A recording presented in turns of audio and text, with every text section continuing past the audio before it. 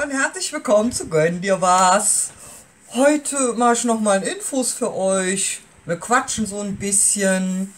Ähm, vor allen Dingen, ich habe hier den Laptop vor mir stehen und ähm, möchte da einige Kommentare beantworten. Ähm, und ja, ein bisschen dies, ein bisschen das. Ne? Man hat ja immer einiges zu erzählen. Ähm, ja, dann habe ich noch äh, eine Frage an euch. Ich brauche da so ein bisschen euer Fachwissen ähm, und eure Hilfe. Und jo, ich würde sagen, macht euch jetzt ein Käffchen und ähm, was weiß ich, holt euch ein Brötchen oder ein Tüt Chips, irgendwas. Und dann äh, legen wir los. So, ja, zuerst ähm, morgen, also am Sonntag, kommt wieder ein Werkelvideo. Ne, ich habe meine Werkelmädels ja ziemlich vernachlässigt die letzten Monate. Und zwar äh, machen wir eine Pop-Up Panel Card. Die wird es werden, aber äh, mehr dann in dem Video. es war wieder äh, ne, ein bisschen Chaos.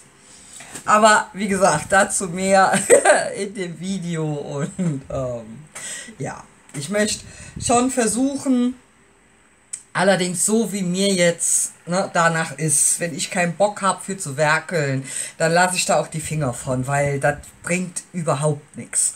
Ähm, aber ich möchte schon versuchen, äh, gerade auch für mein, meine Werkelmädels, ähm, ja, dass da regelmäßig äh, wieder was kütt. Ja, dann ich wieder. Ähm, also das wird jetzt hier wieder ne, äh, ein bisschen durcheinander, ne, ein bisschen Werkel, ein bisschen Sensi, ein bisschen allgemein, so wie das halt ist, wenn man quatscht. Ne. Was heißt quatschen? Ich führe hier einen Monolog, aber egal. ähm,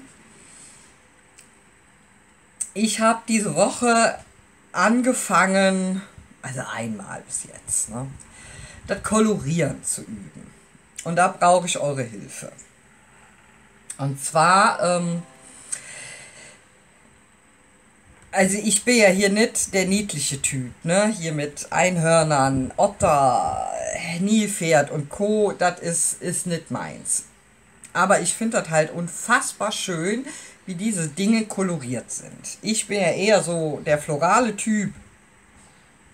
Und ich habe schon so für mich gemerkt, ähm, mit Alkoholmarkern ist überhaupt nicht meine Welt. Ich bin äh, mit Aquarellstiften und Buntstift. So, und jetzt habe ich natürlich ähm, etliche Videos schon geguckt äh, zum Kolorieren und äh, meine Loni ähm, gibt mir ja quasi Unterricht. Ähm, und das ist nicht einfach. Ich habe auch schon gemerkt, so meine Vorliebe sind die Aquarellstifte, ähm, weil die weich sind. Also es ist so ein Mix zwischen Buntstift und Aquarellstift. Ähm,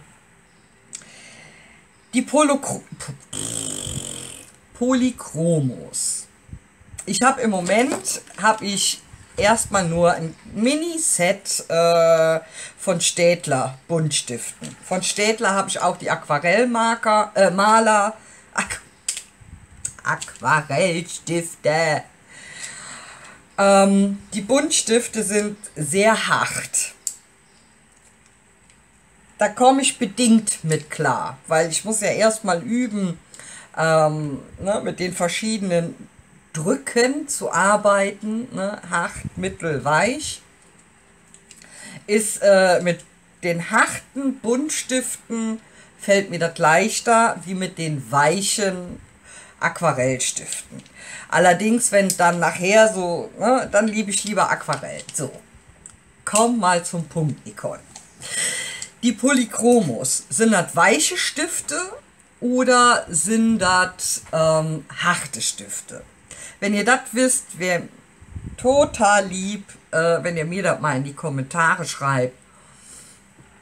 Ähm, weil in den Videos, ich, also wenn ich das so sehe, die kann man so wunderbar verblenden und ähm, ja. Also, wenn ihr das wisst, äh, ob weich oder hart, äh, schreibt mir das mal bitte in die, po äh, in die Polychromos. So. Ne? Nicole, jetzt sammel dich nochmal und mal ganz in Ruhe hier. Ihr wisst, was ich meine. Schreibt mir das mal bitte in die Kommentare. Ja, wie gesagt, äh, da habe ich total viel Spaß dran. Und ähm, ich habe ja früher mal hier sentengelt. Ähm, aber jetzt auch, ja, das, wie das halt bei mir ist. Ne? Ich bin von irgendwas äh, begeistert, dann mache ich das eine Zeit lang exzessiv und dann ist aber auch wieder Schluss mit lustig. So ist das halt bei mir. Ja. Was habe ich denn hier? Ja, da habe ich halt hier, ne? So diese Sachen gemacht. Alles nur so auf den kleinen Kärtchen. Oder das. Und ich fand das total entspannend und äh, ja, hat mir wirklich gefallen. Das hier gefällt mir auch gut. Ja, was habe ich noch gemacht? Hier, mein, mein Buchstaben. Das war so meine, äh, meine Lieblingsblume. Oder mein Blatt. Mein O. Mein C. Das fand ich, fand ich richtig cool. Und da habe ich halt auch schon so geliebt, äh, ja, Schatten zu setzen und ähm, ja. Aber Sente Zentengeln ist im Moment äh, nicht so meins. Aber falls ich auch mal Lust habe, ne, ich habe ja alles da. Ja, und ansonsten mh, hm, bin ich hier wirklich dran, äh, ja, weiter am Kartenwerkeln. Und dann ist mir aufgefallen, dass mir komplett die Basics fehlen. Also mit Basics meine ich Rahmen. Ja, in rechteckig, in quadratisch, in rund. Ich habe nur von SU die äh, äh, hier bestickten Dinger. Das war ja das Set mit den Rechtecken, Kreisen und Ovalen. Aber die größte, größte, die größte Größe ist so klein, das passt ja überhaupt nicht auf eine Karte. Das ist ja für einen Akzent zu setzen, ja, aber nicht für äh, die Lagen damit zu machen. Ja, und damit werde ich mich dann eindecken. Ähm ich habe da auch schon ne, Dinge im Auge und äh, ja, aber nicht von SU, sondern äh, von anderen Firmen. Aber dazu, wenn ich dann hier habe, werde ich dazu äh, auch ein Haul drehen. Ja, und ansonsten bin ich froh, aber ich glaube, das muss ich ja nicht wirklich erwähnen, äh, dass im Moment wieder schön kühl ist und auch mal regnet zwischendurch. Und ich habe trotzdem noch den Ventilator an. Ich hoffe, ihr hörtet nicht. Aber ich kann nicht ohne, sonst äh, ja, gehe ich kaputt. mm. Dann hatte ich einen kleinen Arbeitsunfall. Mm. Aber gut, ne, das ist Berufsrisiko. Und zwar äh, ist mir ins Gesicht geboxt worden. Gott sei Dank habe ich eine Brille an. Und äh, ja, die Dame hat mich halt mit der vollen Faust, ne, hat sie mir, ja, hat sie die, die Brille, sprich das rechte Auge äh, erwischt. Und ja, man sieht hier noch so ein bisschen, das ist auch noch dick. Und ähm, ja, mir tut, klar, der Knochen tut weh, weil, ne, wenn du da voll Karacho eine Trophy-Box kriegst, das ist auch hier noch ein bisschen, ne, geschwollen. Aber wie gesagt, das ist halt Berufsrisiko. Äh, die Dame kann auch nichts dafür. Und ähm, ja, aber da war ich dann erstmal so ne, geschockt und ähm, ja, ich kann ja dann nicht auf der Arbeit sitzen und drei Stunden kühlen, weil es muss ja weitergehen. Ähm, ja, und einen Tag später hatte ich frei und habe dann ordentlich gekühlt und gemacht und ähm, ja, die Schwellung ist halt auch schon gut zurückgegangen. Ähm, und ich denke, das wird doch nicht blau oder so. Ja. Ah, das ist jetzt das zweite Mal in, in all den ganzen Berufsjahren. Ähm, beim ersten Mal äh, ist auch meine Brille getroffen worden und die ist damals kaputt gegangen. Und seitdem habe ich halt äh, diese extrem äh, flexiblen Brillen. Ne? Und ähm, ja, wie gesagt, ich war froh, dass ich die äh, anhatte, äh, weil wenn die mich voll getroffen hätte ohne Brille, äh, da hätte ich aber ein schönes Pfeilchen gehabt.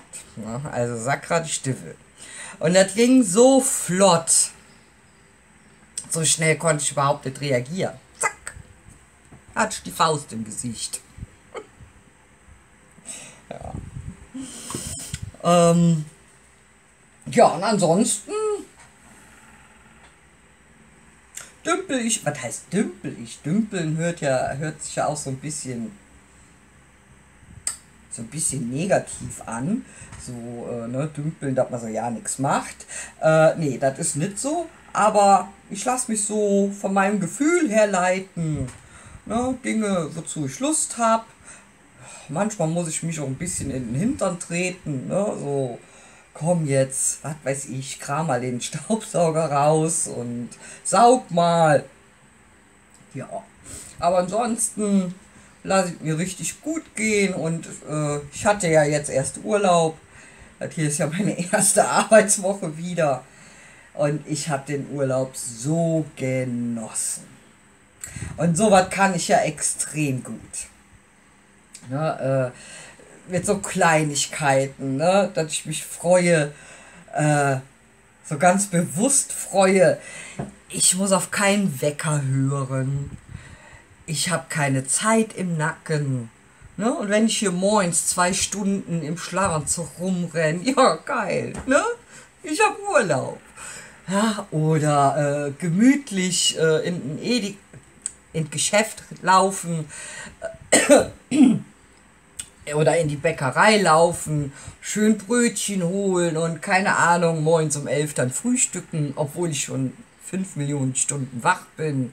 So was halt, ne? Ich kann machen, was ich will. Habe auf der Terrasse gesessen, wenn es nicht zu heiß war, weil äh, ansonsten habe ich ne, in der Höhle gelebt alles hier verbarrikadiert, aber das ist halt jeden Sommer dieselbe oder dasselbe Drama mit mir. Aber ähm, ja, wenn ich dann rausgegangen bin und habe dann so meine Terrasse angeguckt und äh, meine ganzen Blümchen da, ne, dann, ach ja, so halt. Ne? Ich war auch nicht weg, weil, warum? Ich habe es ja eh schon mal erzählt, ich bin eh nicht so der Reisetyp und alleine sowieso schon mal nicht. Und äh, ich kann mir das so wunderbar gemütlich zu Hause machen. Äh, ja. Das war schön. Das waren wirklich wunderschöne zwei Tage, äh, zwei Wochen. Ja, sag mal. wunderschöne zwei Wochen. Da hatte ich einen Tag drin und das ist ja auch sehr, sehr selten bei mir, wo mir stinkend langweilig war. Oh. Ich wusste nichts, aber auch gar nichts mit mir anzufangen. Null.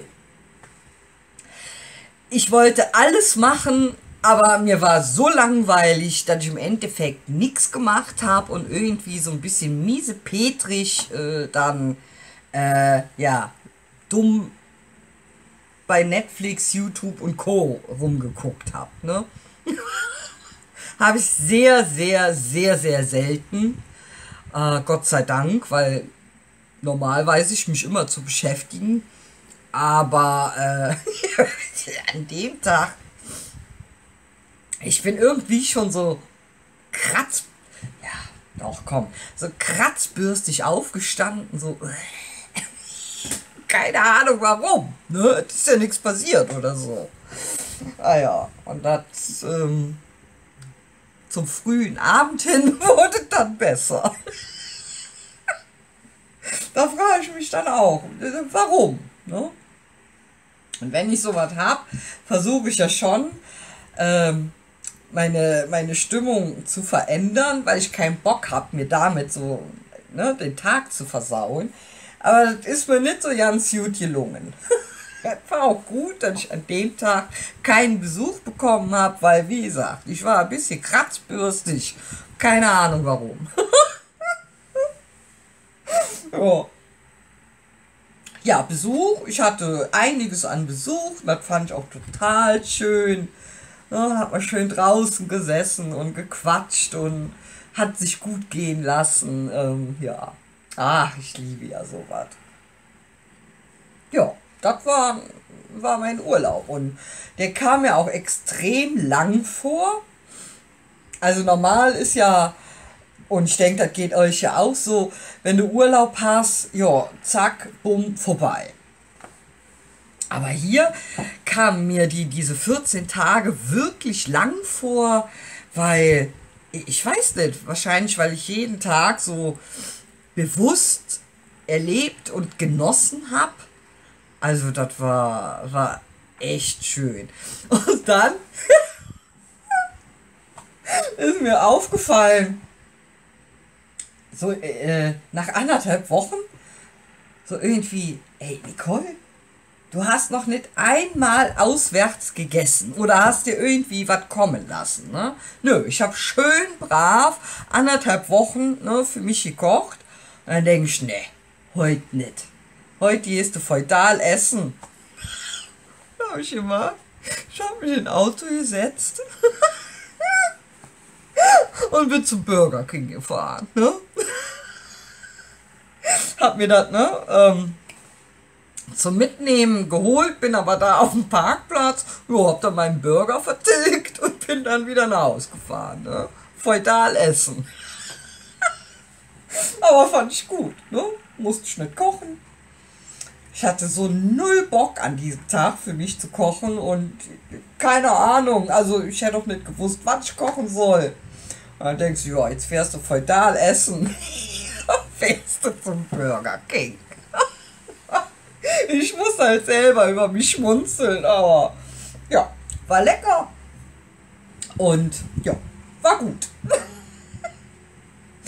Oh nee, also manchmal.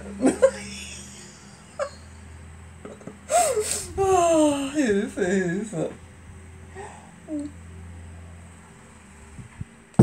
Ansonsten, ja, ist ja halt nicht so viel passiert, ne?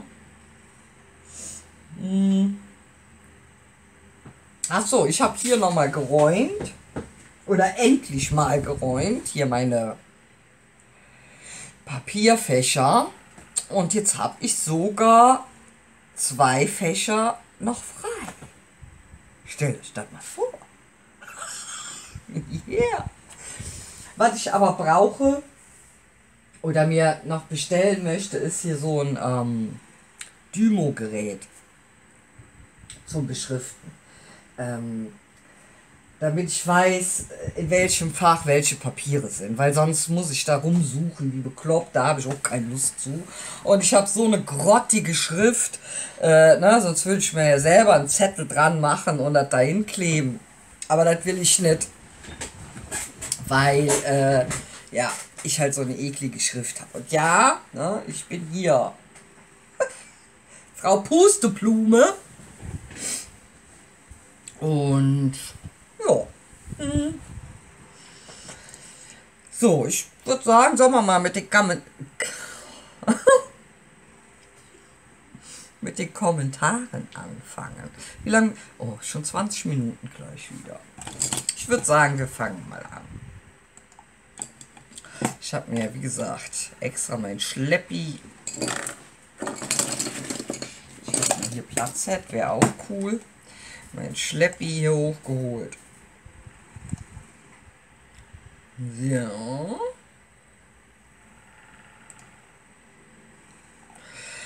Also ich fange jetzt mit dem ersten an. Ach so, ja. Die Whiffbox von Juni.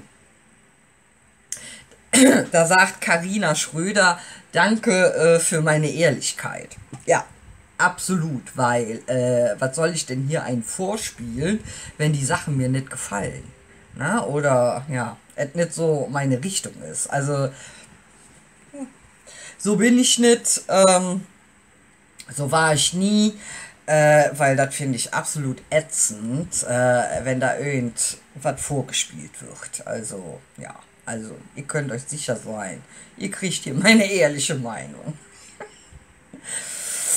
so, dann hatte Susanne K ein äh, älteres Video von einer Clubbestellung ähm, kommentiert, wo sie, wo ich diesen Buzzworthy, glaube ich, zum ersten Mal erwähnt habe.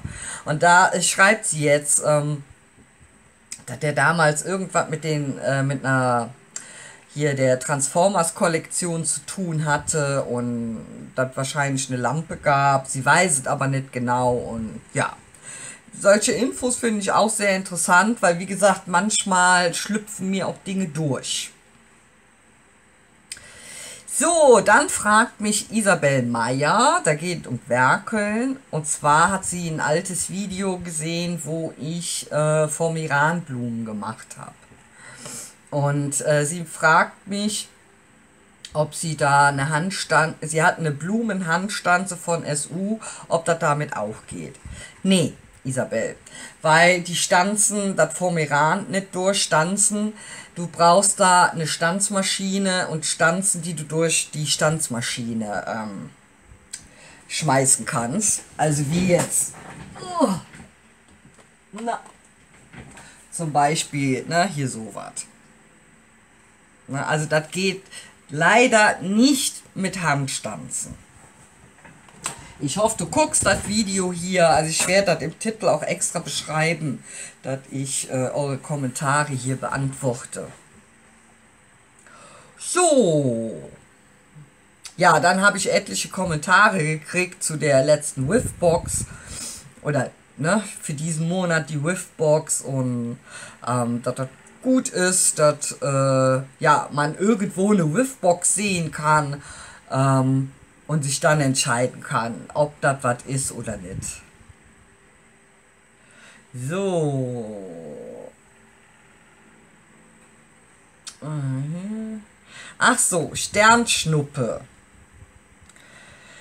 Ähm, ja, sie bedankt sich für die, für die Videos von mir und fragt aber äh, so von wegen, sie ist auch noch nicht so lange beim, also auf meinem Kanal und äh, fragt dann, sie würde gerne mal meine komplette Sammlung sehen. Liebe Sternschnuppe, ich hoffe, du guckst das. Ich habe schon ein Video, wo ich äh, die damalige Wachssammlung gezeigt habe irgendwie meine XXXXL Wachssammlung. Äh, ich habe auch schon ein Video, wo ich meine Lampen vorgestellt habe. Also guck da mal rein. Geh mal in die Playlist und guck unter Duftvideos. Ne? Da wirst du das dann finden. So. Dann hat mich Alexandra äh, Wellendorf ganz altes Werke-Video, wo ich äh, das Mystic Book Cover gemacht habe. Äh, fragt sie mich, ob ich ihr einen Link bezüglich äh, des Nasspapiers schicken kann. Nee, gib einfach bei Google Nasspapier ein und äh, da kriegst du dann genügend angezeigt. Ne? So.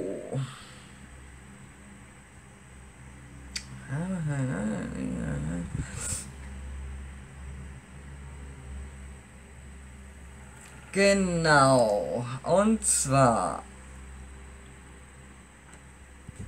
Tina M. Vor zwei Wochen hat sie geschrieben. Äh, da hat das Video hochgeladen, die stärksten Sensi-Düfte. Und da schreibt sie, äh, ich habe ja gesagt Schimmer, dass Schimmer wirklich ein Powerhouse ist.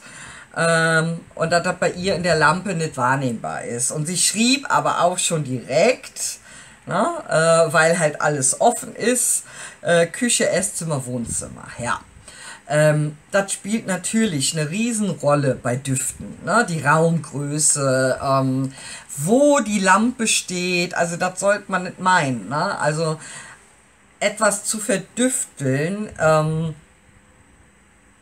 da ist eigentlich sehr, sehr viel bei äh, zu beachten. Es ist nicht nur einfach irgendwas hinstellen und dann düftelt das. Ne? So, also Raumgröße, äh, die Luftzirkulation im Raum und ja, welches System benutzt du und, und, und. Da gibt es ja einiges zu beachten. So. Hm, ach ja.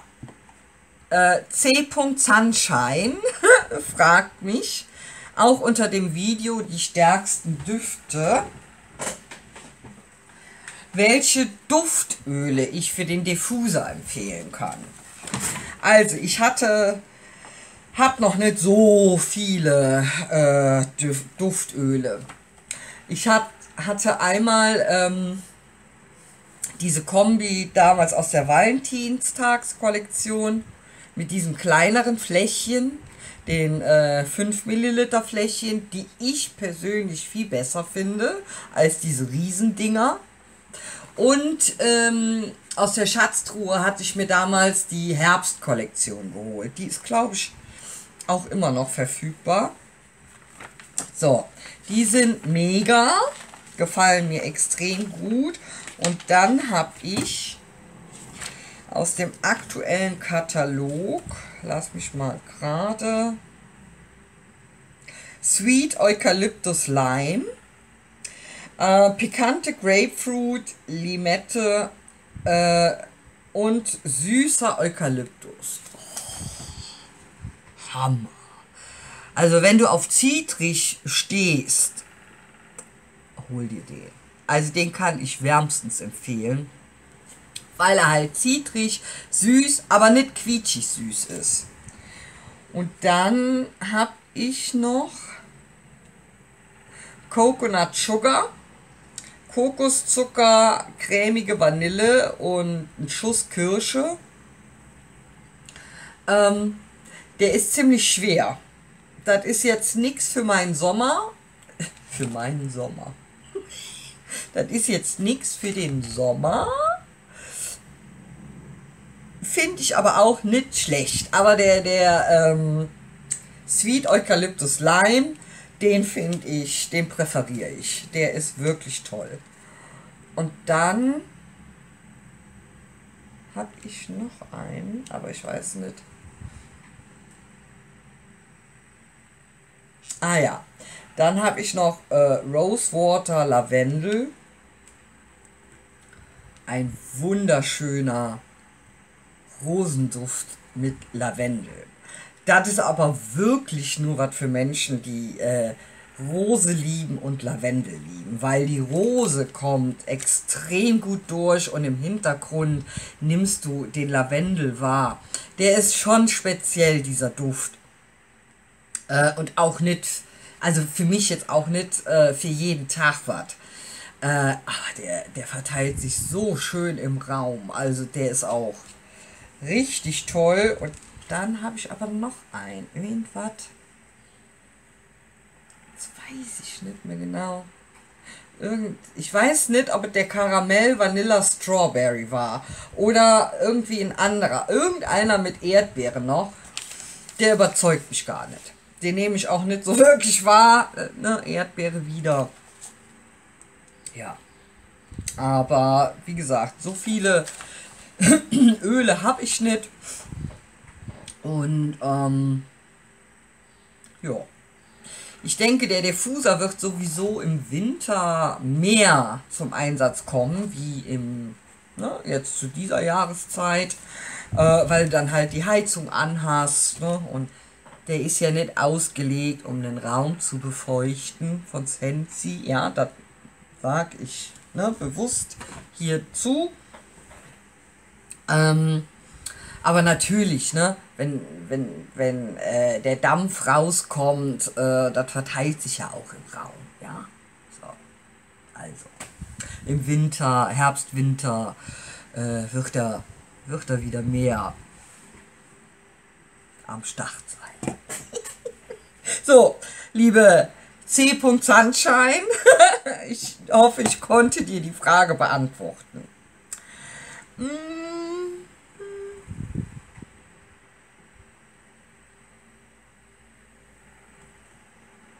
Okay. Aisha Amatullah Dalwitz. Ich hoffe, ich habe das halbwegs richtig ausgesprochen. Sie fragt mich, was meinst du damit, wenn du sagst, das habe ich nicht im Club? so, der Club ist ein kostenloses Abo, was du bei Sensi erstellen kannst. In drei verschiedenen Varianten. Einmal, dass du monatlich äh, deine Ware bekommst, alle zwei Monate oder alle drei Monate. In diesem Club kannst du außer Lampen alles Mögliche packen. Dinge, die du immer haben willst. Aber das Besondere daran ist, und deswegen habe ich ihn, dass du in den Club äh, deine Lieblingsdüfte reinschmeißen kannst und selbst wenn die dann aus dem Sortiment fallen und nicht mehr hergestellt werden, für dich persönlich wird dieser Duft dann hergestellt und du bekommst den immer. Solange du den in deinem Club hast. So, das war jetzt ganz kurz erklärt. Ich hoffe, äh, du kannst dir jetzt ein bisschen was darunter vorstellen. Aber geh mal auf, eine, auf die Seite deiner äh, Beraterin. Ähm, da ist der Club auch äh, richtig gut erklärt. So. So.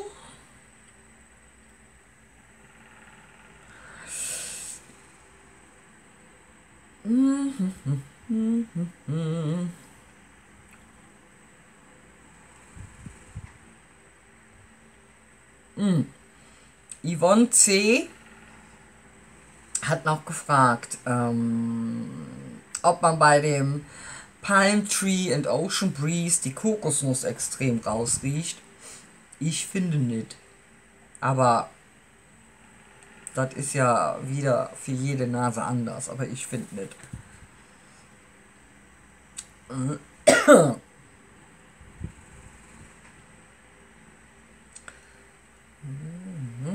Okay.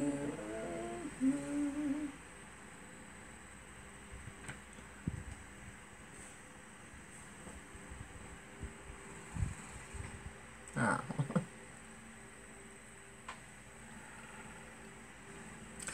Ähm, Yvonne C. fragt nochmal, ähm, womit ich Pink Sugar Berry Mint mische. Yvonne, das ist ganz unterschiedlich. Ähm, oft mit fruchtigen Düften. Ne, hier Paradise Punch, äh, Mad About Melon, sowas halt. Oder aber äh, mit äh, Vanilla Waves oder ähm, Vanilla Bean Buttercream. Ne? Aber da kann man, können wir ruhig mal ausprobieren. Ähm.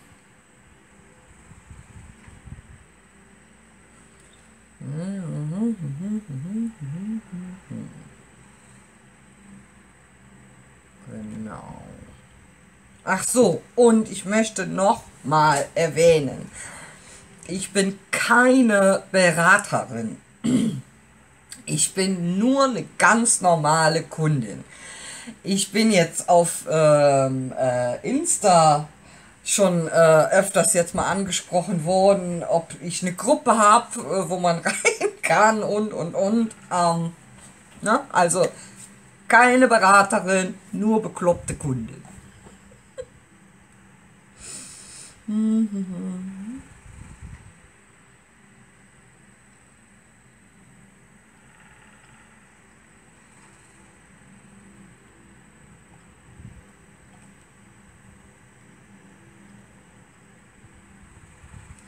Okay, dann schreibt Gabi C.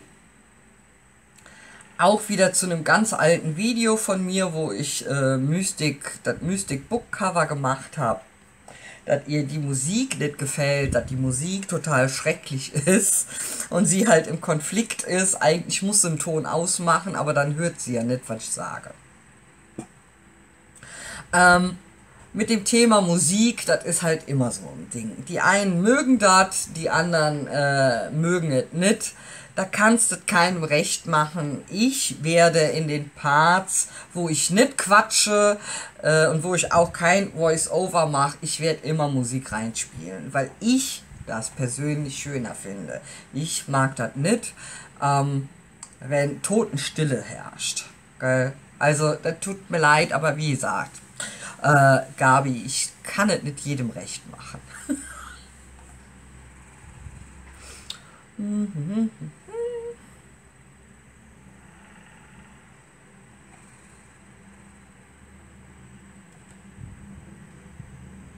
genau. Ähm.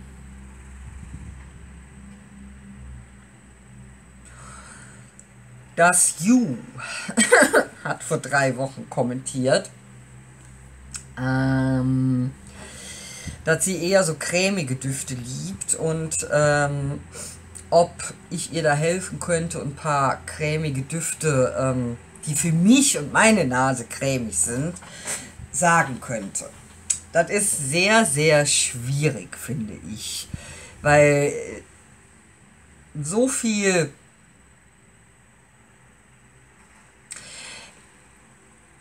Ähm, ich schreibe das auf meine Liste. Und dann mache ich mir mal Gedanken darüber.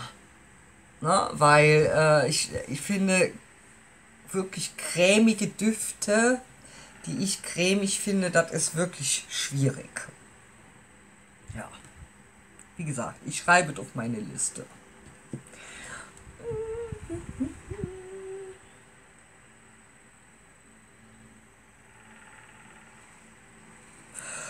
So, dann fragt mich Yvonne C. nochmal ähm, Paradise Punch findet sie gut. Ähm, bei ihr, er ist aber lasch in ihren Augen, wie ich ihn finde. Also, äh, Paradise Punch performt, ja, ein bis zwei Tage wirklich gut und dann ist aber auch bei mir vorbei. Ne? Sonst wäre er in dem Video die 10 stärksten Düfte.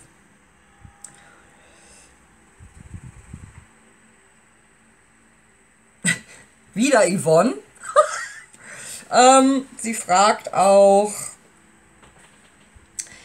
ähm, ob ich immer selber mixe, also nach meiner Nase und nach meinem Gefühl und worauf ich Lust habe, oder ob ich da Rezepte habe.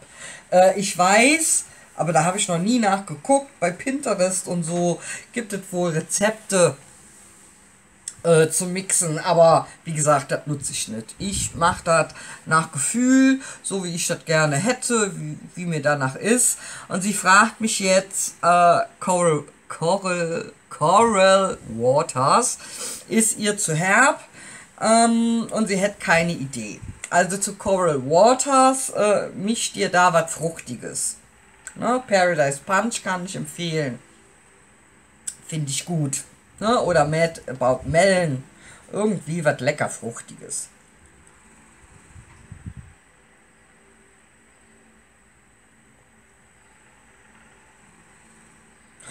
Yvonne, ob mir äh, aufgrund der riesen Menge, die ich an Wachs habe, auch schon mal was umgekippt ist äh, ob das überhaupt passiert und wie lange man die Bars liegen lassen kann. Ähm, ein einziges Mal. Ich weiß aber auch schon gar nicht mehr, was das für ein Duft war. Ähm, das war ein sehr, sehr alter Duft. Den hatte ich fast vier Jahre liegen. Ne? Also, und dann darf der auch umkippen. Und die Farbe verändern und nicht mehr wirklich gut riechen. Garantie hast du halt für ein Jahr, aber ich habe hier Bars liegen, die sind, ähm, ja, drei Jahre und da ist nichts. Ne? Aber vier Jahre, das ist schon, äh, schon grenzwertig. So, und äh, das passiert mir auch nicht mehr, weil ich nichts mehr so lange liegen lasse. Warum? Ne? Die Sachen sind da, um zu benutzen und nicht um zu horten. Und auch wenn ich extrem viel Wachs habe, ich verbrauche sehr viel, ne? weil ich viel Düfte, viele Lampen habe und ja, deswegen äh, wird bei mir nichts mehr schlecht. So. Jetzt kommt noch mal eine Werkelfrage. Hm, Isabel Meyer. Da habe ich äh, eine, äh, ein Mixed Media Projekt, äh, da habe ich so ein Osterei MDF habe ich äh, gewerkelt. Und da habe ich äh, die Sprühfarben wieder benutzt. Und sie fragt mich, ob man die Sprühfarben nicht selber machen kann. Klar kannst du das. Ne? Du brauchst nur Pigmente, machst Wasser bei und äh, hast dann deine Sprühfarben. Ich habe ja hier zum Teil auch ähm, Flaschen, wo ich selbst gemixt habe, äh, das ist kein Thema. Ne? Du musst die nicht kaufen, dann musst du aber allerdings die Pigmente kaufen. Aber das ist kein Thema. Ne? Das kannst du selber machen. Ja. Mmh.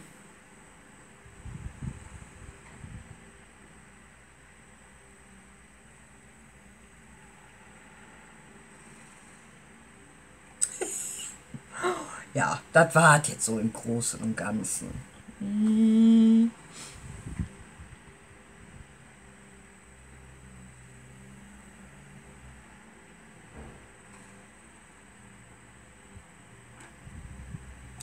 Ah, tausend Kleinigkeiten, genau. Hat mich gefragt, was ich mit dem Wachs mache, äh, wenn er ausgedüftet ist. Den schmeiße ich in den Müll. Weil was soll ich damit? Ähm, ob man daraus Kerzen gießen könnte, empfehle ich nicht. Mm, weil äh, mit Kerze und doch, das wird einfach zu heiß. Und ähm, dieser Wachs von Sensi ist dafür ausgelegt, um, der ist ganz weich, ne, um bei Niedrigtemperaturen flüssig zu werden. Und ähm, wenn du da draus eine Kerze machst, das verbrennt, das ist nicht, nee. Keine Empfehlung, überhaupt nicht. Ähm, und deswegen, also wie gesagt, ich schmeiß das in den Müll, weil, äh, was soll ich damit? Ja. Mhm, mhm, mhm. Ja, das war jetzt aber. Äh, ja. Das war jetzt so das Wichtigste an, an Kommentaren. Ähm, ihr seht mehr ähm, duftige Kommentare, was der Logo ist. Es kommen ja mehr Duftvideos wie Werkelvideos, aber. oh Gott. Oh ja. ne? Heute ist wieder Sabbeltag. Oh. Ihr habt ja gestern meine Clubbestellung gesehen. Ähm, also Fiji Flower.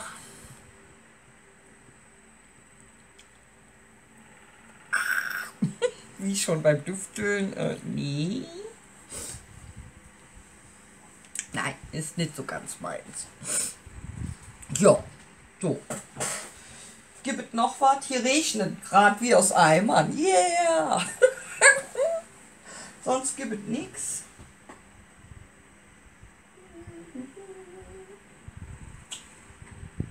Ja, ich habe mich neulich nochmal hingesetzt und ähm, wollte nochmal äh, ein Mixed Media ähm, eine Mixed Media Leinwand machen.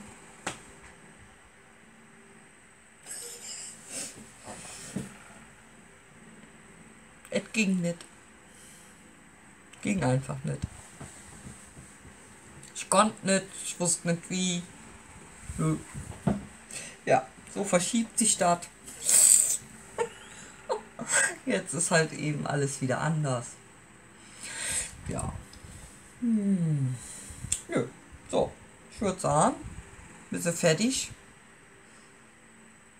denkt bitte wegen dem Polychromos mir das zu schreiben.